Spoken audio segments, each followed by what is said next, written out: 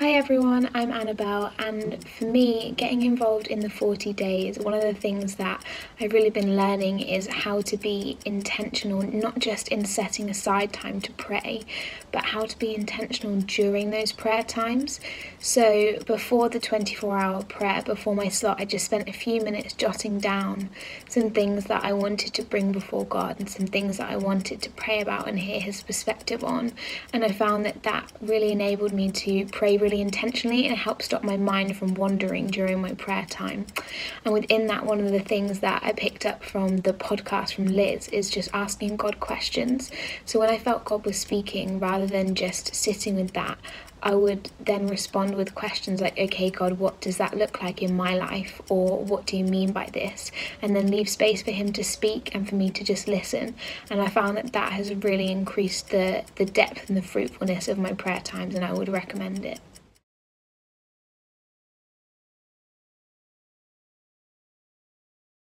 Well, I am here with some members of a variety of ages of Churchcentral East, which is very exciting. Uh, Jenny, to start with you, do you want to give people a bit of a sense of what happened on Sunday, this last Sunday, a week ago, uh, and maybe a bit of the backstory before then, um, and then, yeah, a bit of a report of how it went on Sunday? Yeah, yes, definitely. Um, I think a year ago when lockdown happened, we were all like, oh no, it's all gone wrong. You know, East site plans, which we'd started making kind of January last year, uh, kind of completely fell through. Basically, we had no plans anymore, as everyone did. Um, but actually, it's been amazing to see how God over this over the year has been kind of bringing things together um, without us having to do anything. Almost, you know, we we've been gathering on Zoom as a kind of East site slash the international group um, since the pandemic started excuse me. um, but actually, God's brought people along to us, and we've um, been joined by quite a few different people from different places. And we were able to start meeting kind of in September uh, a few times, and then we met for the baptisms in February. So yeah, it's just been amazing to see what God has done over this year, which we didn't plan. You know, it's like trust we've trusted Him, and it's happened. So that's been really exciting. Um, and yeah, this Sunday we had our first kind of official Site um, meeting, I guess you could say. Uh, I think it went really well. There were about 30 of us, um, including children, maybe a little bit more. Um, and we had definitely a real mixture of people from different places, different languages. Um, and it was really fun to gather together, worship God limited in a kind of limited way, but worship God together and just, yeah, get sort of time together, worshiping God and listening to his word. Um, and then afterwards, we were able to go to the park and have a socially distanced picnic um, in groups of six. Um, and that was really great for building that community as well. And I'm here with someone else who was able to join on Sunday. Do you want to give us a sense from your perspective how Sunday was for you? When uh, we uh, uh, attend in the uh, meeting face to face, uh, uh, my feeling is very better and I'm understanding very better than uh, Zoom. But uh, God bless for the uh, Zoom. We can see each other in the Zoom, but uh, uh, church is uh, different things. And this the last Sunday we go to we can pray each other and brother Tim lead us about one story about the Bible after that, we go to the park for the uh, small uh, picnic, and uh, my kids uh, enjoyed it, and we are very happy about this time. And we want uh, we can repeat again these things. Change feeling all my family. We are happy after that. We said my kids said, "Dad, when we can go again? we want to go to picnic and play in the park." We love it. we love it. Brilliant. Well, as uh, Churchcentral East goes forth, uh, Jenny, what could we be praying for you? I guess perhaps a longer term uh, thing to pray for, and maybe something a little bit more close to now this term. How can we pray for East? Yeah, in terms of prayer requests, I guess in the short term, that we would really grow closer together. Now we're able to meet more in person um, as a family, and the, the kind of logistics of just the meet starting to meet together and the kids work and the sort of sorting all those things out would go um, smoothly and i guess our prayer is really that God would come and meet with us powerfully by his spirit um, as we gather together um, and empower us to go out as well, um, particularly for the community around this area where there is a very few people who know Jesus. Um, and we really want to be for the area, for the east of Birmingham, and to be reaching out into this area.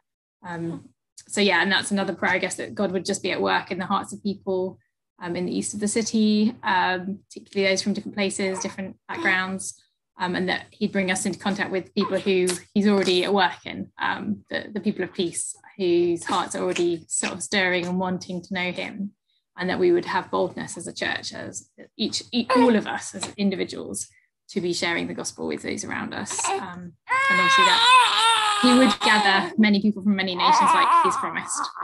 Well, to finish this, I've asked uh, my brother here to pray for Churchcentral East and lead us in prayer. So, uh, wherever you're watching this, would you engage with God and call out to Him uh, as we are led in prayer? Go for it. خدا خداوند پدر آسمانی شکرت میکنم خداوند به خاطر اینکه در کلیسای سنت چارلوس هستم هستم خداوند ممنون از اینکه خداوند تو منو هدایت کردی تو خانواده من رو هدایت کردی که در اینجا باشم. اینجا خونه من و خانواده روحانی منم. خداوند و ممنونیم که فرصتی فراهم شده تا ما در حضور تو باشیم. تا از تو بگیم از تو بشنویم و در نام یگان پسرت آنچه از غم درد و رنج هست رو خداوند به حضور تو بیاریم به دستان مهربان تو بسپاریم. و خداوند ایمان داریم که تو اونها رو بر میداری و به جای آن شادی خوشی سلامتی خداوندا و همه حسای خوب رو خداوند به ما میدی. ممنونیم از اینکه نجات دهنده ما یعنی عیسی مسیح اومد خداوند ما رو نجات داد از گناهان و امروز در حضور تو در زیر تخت پادشاهی تو هستیم خداوندا. محافظت تو بر ماست خداوندا و به طور خاص خداوندا یک بار دیگه شکر می‌کنم از اینکه در این کلیسای مقدس هستم. به نام پدر پسر روح القدس. آمین. Amen. Yes, Jesus, hear our prayers for your church in the east of Birmingham. We pray you bless Churchcentral East so that many people from many nations would glorify your name in that part of the city. In Jesus' name, amen. Fantastic. It's been really great over the last few weeks to see the baptisms that are happening at East. And it's been wonderful to hear the interview and to see all of the exciting things that are happening. Uh, we are going to move on now and we are going to have some worship followed by a talk. Jonathan is going to be talking to us more about the 40 days of prayer. Um, but before that, we are going to have uh, Johnny lead us in a liturgy and Laura in some sung worship.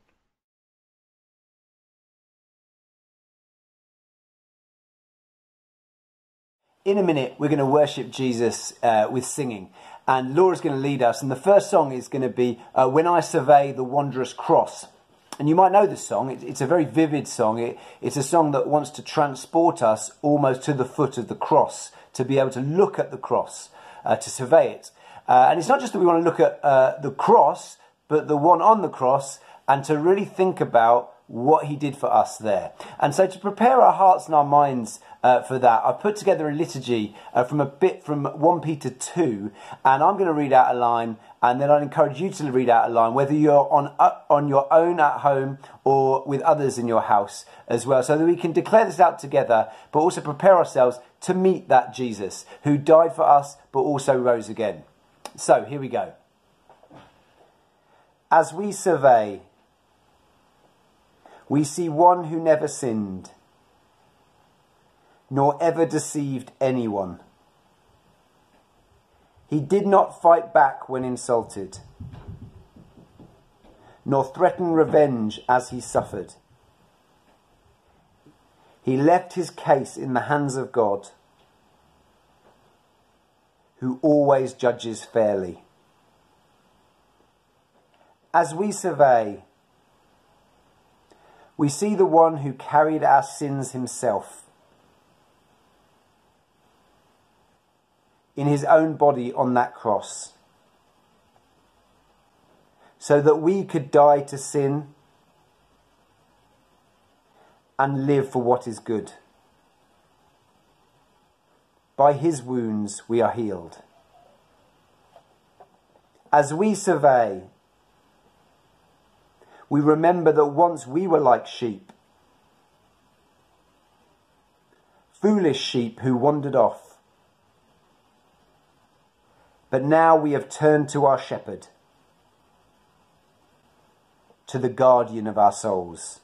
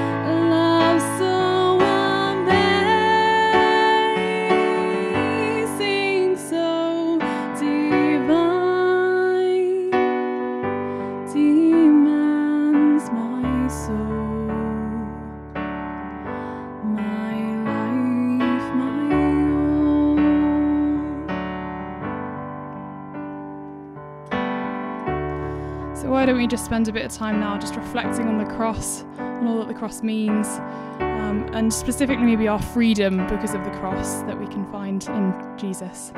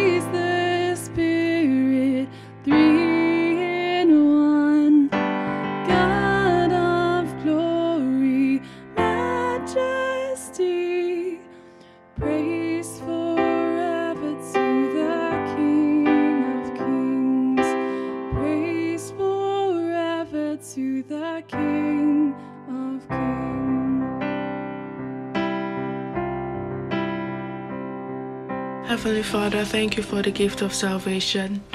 Thank you, Lord, for sending your only Son who lived a life without sin to die for a sinful world. Thank you, Jesus Christ, that even in your pain and even in your suffering, your love for us was greater. Thank you, Lord, that we now receive freedom through the death and resurrection of Jesus Christ. And I pray, Lord, that we begin to walk in line with our freedom knowing that our past and our sins don't define us anymore. We have been set free. In Jesus' name, amen. Oh Lord, we rejoice greatly that we belong to you, King of Kings.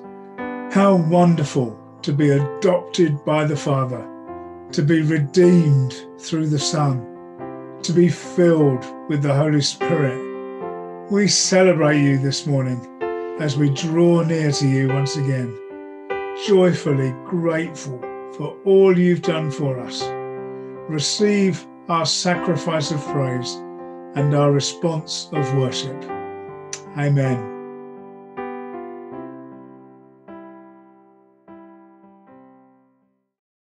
Well, if you've been around over the last few weeks, you'll know that we are looking at a number of biblical examples of what God can accomplish over a 40 day period.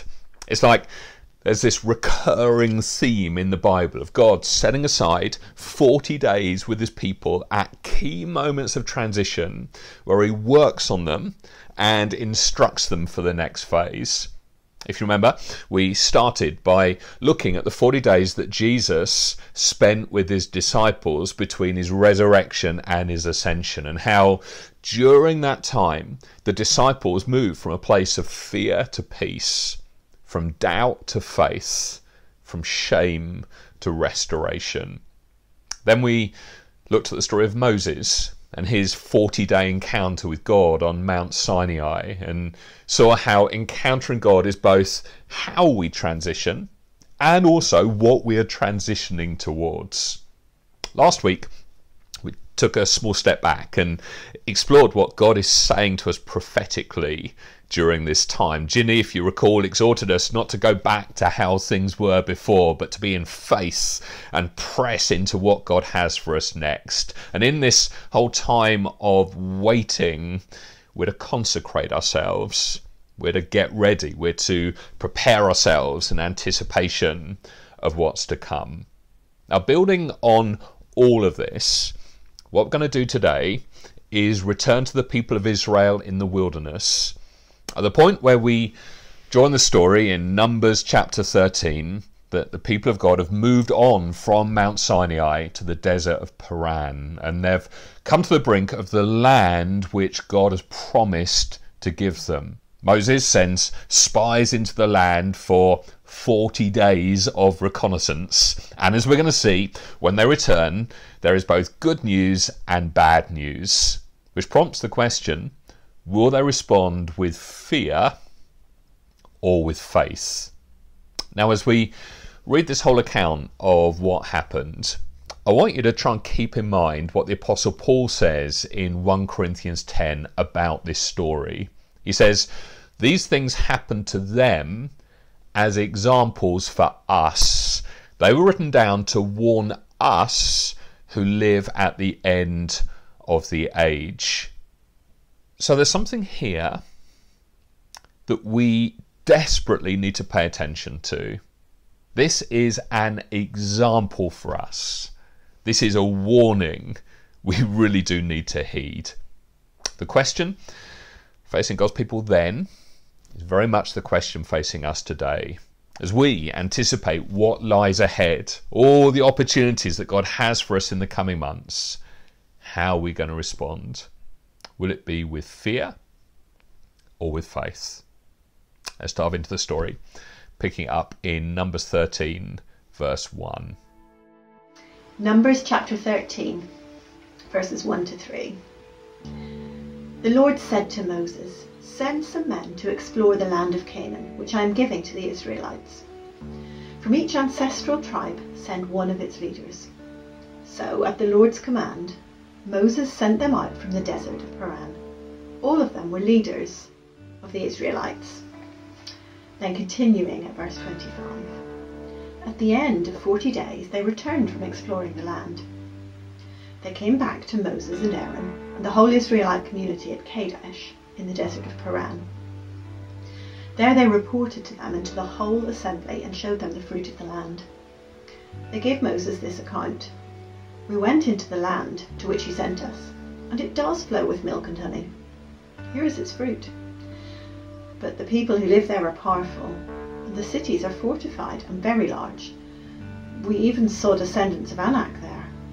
The Amalekites live in the Negev. The Hittites, Jebusites, and Amorites live in the hill country, and the Canaanites live near the sea and along the Jordan. Then Caleb silenced the people before Moses and said, We should go up and take possession of the land, for we can certainly do it. But the men who had gone up with him said, We can't attack those people, they're stronger than we. and they spread among the Israelites a bad report about the land they had explored. They said, The land we explored devours those living in it. All the people we saw there are of great size. We saw the Nephilim there, the descendants of Anak come from the Nephilim. We seemed like grasshoppers in our own eyes, and we looked the same to them. That night, all the people of the community raised their voices and wept aloud. All the Israelites grumbled against Moses and Aaron, and the whole assembly said to them, If only we had died in Egypt, or in this desert. Why is the Lord bringing us to this land, only to let us fall by the sword? Our wives and children will be taken as plunder. Wouldn't it be better for us to go back to Egypt? And they said to each other, We should choose a leader and go back to Egypt. Then Moses and Aaron fell face down in front of the whole Israelite assembly gathered there. Joshua, son of Nun, and Caleb, son of Jephunneh, who were among those who had explored the land, tore their clothes and said to the entire Israelite assembly, The land we passed through and explored is exceedingly good. If the Lord is pleased with us, he will lead us into that land, a land flowing with milk and honey, and will give it to us. Only do not rebel against the Lord, and do not be afraid of the people of the land, because we will swallow them up. Their protection is gone, but the Lord is with us. Do not be afraid of them. But the whole assembly talked about stoning them. Then the glory of the Lord appeared at the tent of meeting to all the Israelites. The Lord said to Moses, How long will these people treat me with contempt? How long will they refuse to believe in me, in spite of all the miraculous signs I have performed among them? I will strike them down with a plague and destroy them, but I will make you into a nation greater and stronger than they.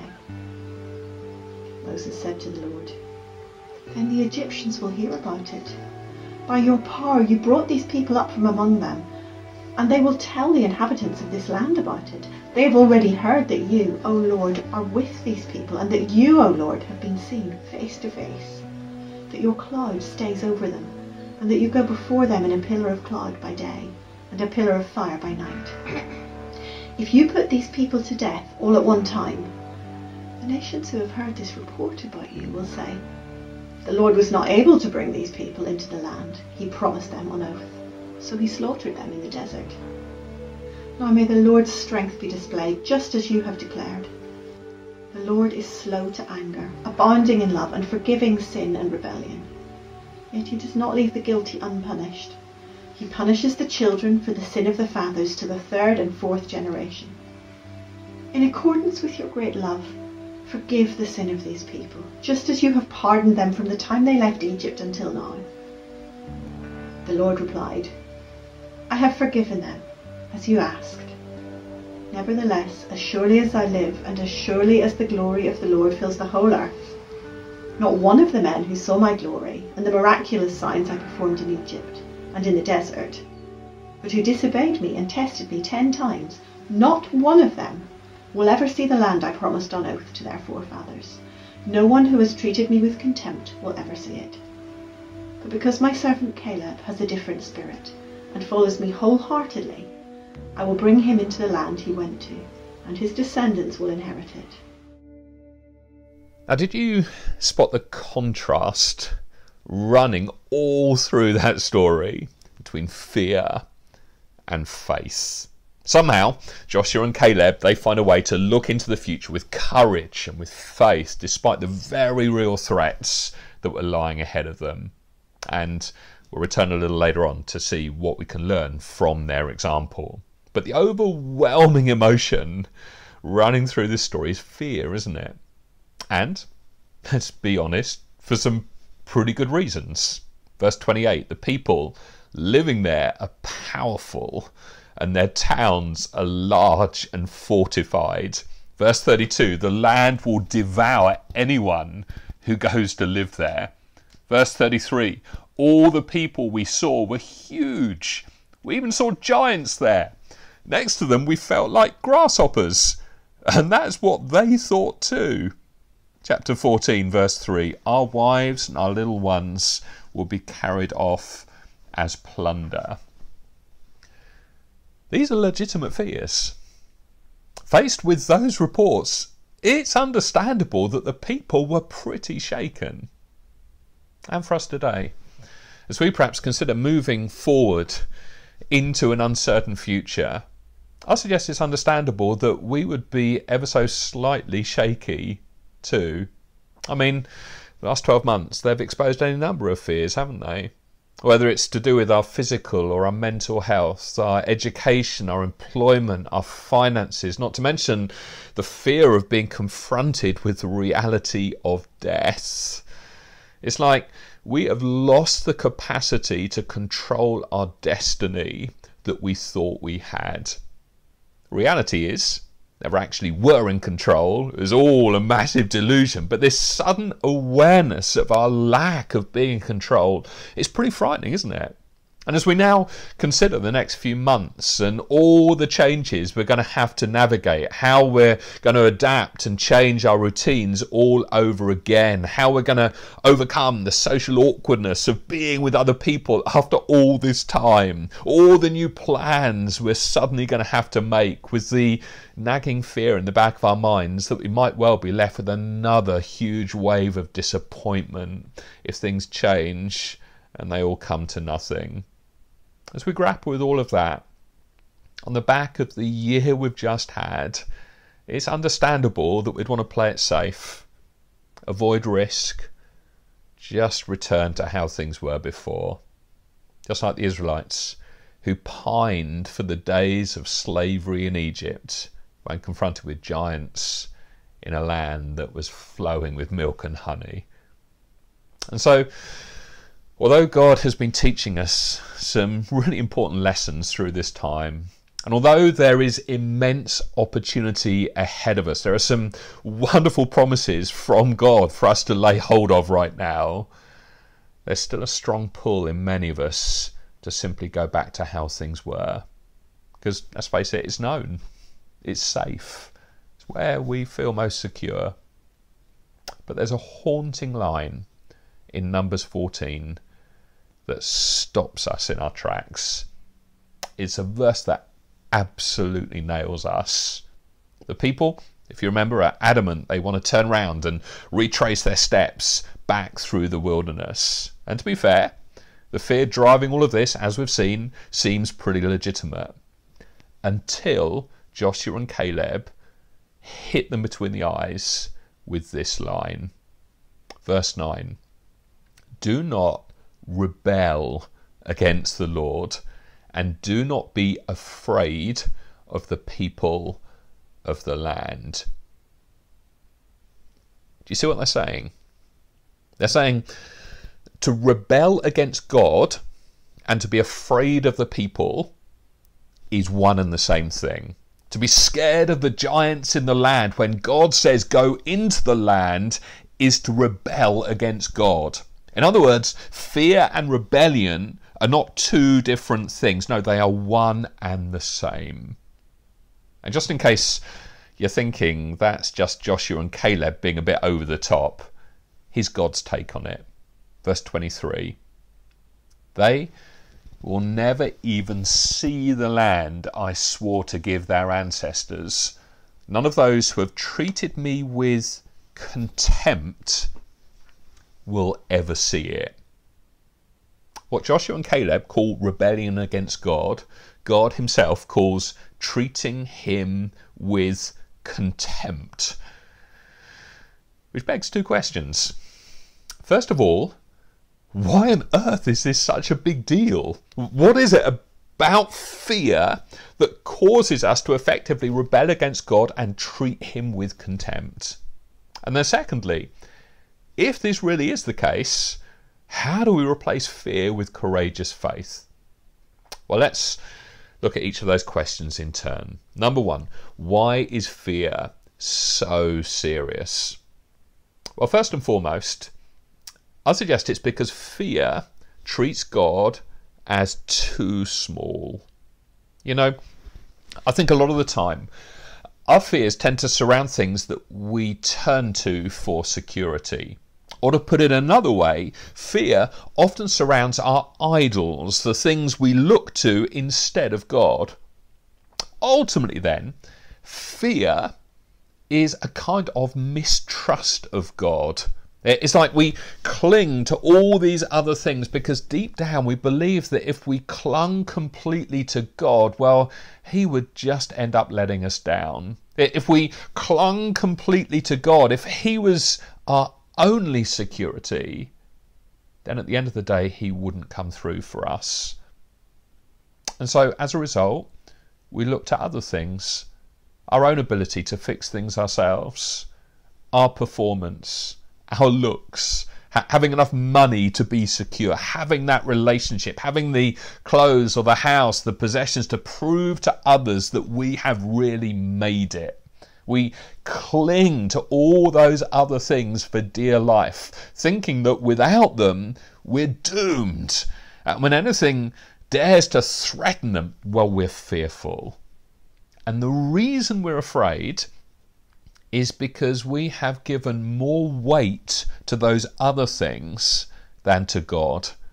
And in so doing, we're treating Him with contempt. You see, when we're afraid of being without those other things, what we're really saying is God is smaller than this, that this thing is bigger, that this is more than God could ever handle which is crazy when you think about it. As verse 21 puts it, the whole earth is filled with the Lord's glory. It's like if we would just open our eyes and see a glimpse of God's glory, if we saw how He fills the whole earth, then we surely wouldn't be afraid to the degree we are. In other words, our greatest need is to get a bigger view of God. If you like, fear is an absence of thinking about God. Or should I say, fear is an absence of thinking accurately about God. Fear is an absence of seeing His glory and having faith in Him and Him alone. So that's the first reason why fear is so serious. It treats God as too small. Secondly, it forgets His power to deliver and save. Straight after reminding us that the whole earth is filled with the Lord's glory. God then goes on to say in verse 22 They've all seen my glorious presence and the miraculous signs I perform both in Egypt and in the wilderness. But again and again they have tested me by refusing to listen to my voice. He's saying, if you realized what a miracle it is that you got out of Egypt. Why on earth would you ever be scared of going into Canaan? It's a similar logic, I think, to the one that Paul uses in Romans 8, verse 32, where he says, Since he did not spare even his own son, but gave him up for us all, won't he also give us everything else? In other words, if God brought you out of the equivalent of Egypt, or if God has given you his son, if he's already done the hard part in saving you, then how in the world is he going to desert you now? It's like having given you the car, is he going to begrudge you the keys? I mean, if he's going to give you all of this, why would he stop now? Now, look, I think perhaps one of the main reasons we can doubt this is because we have lost sight of the fact that ultimately our salvation is all down to God. You see, when we think that the reason God loves us and is taking care of us is because we're a good person or we've earned our salvation, then in that moment we've lost our sense of the miraculous and our future hope shrinks down to being all about our performance. If we believe we've got where we are on the basis of our performance or our resources, then whenever we get into a situation that we don't feel like we have the resources to handle, well, in that moment we'll chicken out, won't we? But if we believe that we're saved by grace and it's a miraculous thing, then we're able to say that if God brought me this far, then why can't He help me do this? So, you know what? I'm going to obey. I mean, if He brought me out of Egypt, for goodness sake, He's certainly going to get me safely into the equivalent of Canaan. And just to say, by way of an aside, really, if we are afraid of failure, it's surely a telltale sign that we've made it all about our performance. Because when we're assured of God's love for us and His grace and His faithfulness and His unfailing commitment to us, then even if we do fail, we know that doesn't affect how He views us. You see, if Jesus is my security, then I am liberated from the worry of failure and I am free to make courageous decisions. So there you have it. Two reasons why fear is such an affront to God. It makes him too small and it forgets his saving work. Let's finish off by very quickly tackling the second question, namely, how then do we replace fear with faith? Well, to put it simply, the difference between Joshua and Caleb and the rest of the spies, I think, was where they chose to look. In other words, when there are giants looming on the horizon, where the future looks scary, where we could be tempted to shrink back in fear, what we need to do is get our focus right. Really, to press forward in faith, we need to be captured by the right vision. First of all, we need to look back. Just to be clear, there's a right way to look back and also a wrong way. If you remember the Israelites, they look back through rose tinted spectacles and they saw Egypt as being the land flowing with milk and honey. That's the wrong way to look back. And you know what? I think this remains a very real temptation for us today.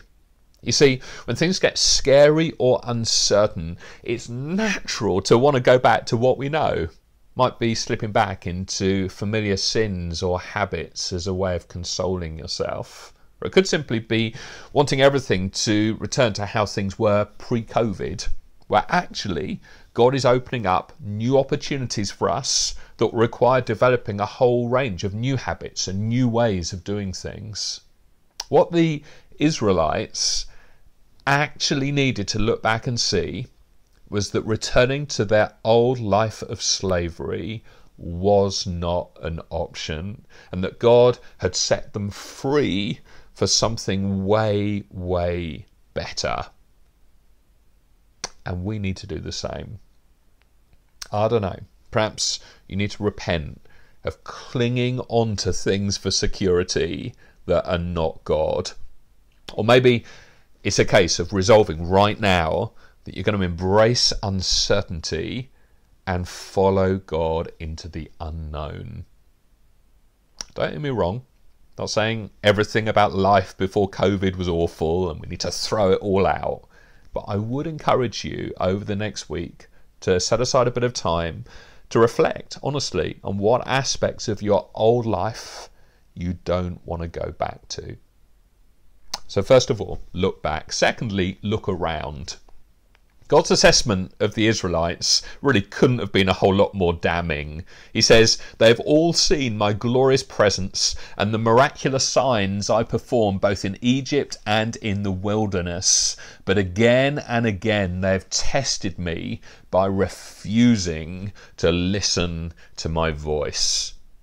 Seems unthinkable, doesn't it? That having seen God lead them out of Egypt in such extraordinary circumstances, splitting the Red Sea, obliterating the Egyptian army, providing manna and quail, guiding them with a pillar of cloud by day and fire by night, giving them his very presence among them. Instead of being thankful, they moaned, they grumbled, and they rebelled. But you know what? I think we can be the same, can't we? We can be so consumed by our current situation that we end up losing sight of the many blessings of God all around us. Once again, I want to encourage you this week to take the time to look around, to open your eyes, to see the many blessings of God in your own life and the lies of others. And don't just stop at that, turn it back to Him in thankfulness. So look back, look around. Thirdly, then look forward with faith. Let's be real. There are going to be any number of challenges ahead of us, aren't there? But also some pretty wonderful opportunities. It's going to be costly, it's going to be painful, but the future that God is preparing for us will ultimately be worth it. Remember back a year to the word that Rich brought about the lake being drained. The, the purpose was to cleanse it so fresh water would come teeming with life. Esther Lee shared a prophetic word recently about God setting new boundary lines for us as a church, requiring us to build in a different way. Last week, Ginny spoke in terms of God sending revival. It's coming closer, which is all well and good. But I think probably there's a little bit of cynicism in all of us. What's more, some of us are carrying so much disappointment from the past that it's hard to muster up the faith needed to advance. But as we've seen, the key to getting the courage to move forward is to get a bigger view of God. As Joshua and Caleb exhorted the people, the land we passed through and explored is exceedingly good.